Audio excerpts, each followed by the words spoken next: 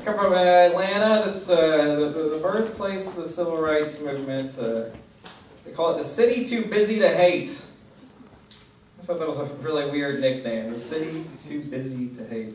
It sounds like we would like to hate, but we just can't find the time. We're so busy. I love to have a Klan rally. We just can't find a babysitter, you know?